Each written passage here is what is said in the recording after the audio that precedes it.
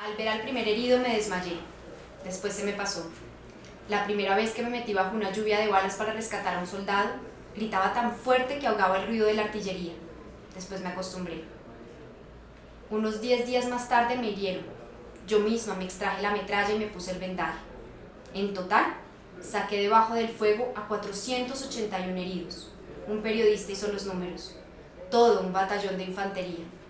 Cargábamos con hombres que pesaban dos y tres veces más que nosotras.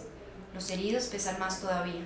Arrastrábamos los heridos con sus armas, su capote, sus botas. Nos echábamos sobre la espalda esos 80 kilos y los llevábamos.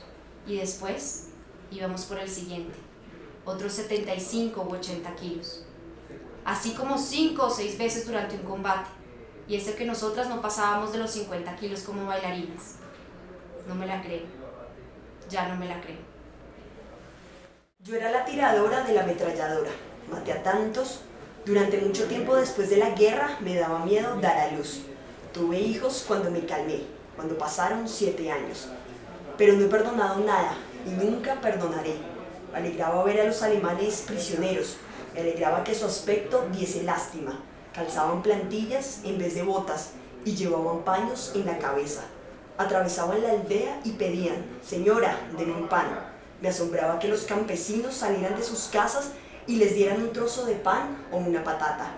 Los niños corrían detrás y le lanzaban piedras y las mujeres lloraban. La sensación que tengo es que he vivido dos vidas, una de hombre y otra de mujer.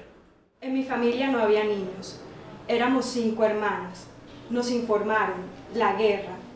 Yo tenía un gran oído musical Soñaba con matricularme en el conservatorio. Decidí que mi don sería útil en el frente, que sería soldado de transmisiones. Nos evacuaron a Stalingrado. Cuando comenzó la batalla de Stalingrado, todas nos alistamos como voluntarias, todas juntas, toda la familia, mi madre y nosotras, las cinco hermanas. Mi padre para entonces ya combatía en el frente.